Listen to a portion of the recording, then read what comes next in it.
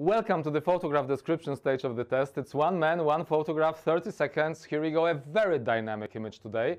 You've got several members of the cabin crew who are trying to string the passenger who is causing trouble. On the other hand, you've got several other passengers who are filming the whole action in progress in order to make sure that there is enough strong evidence at the investigation stage.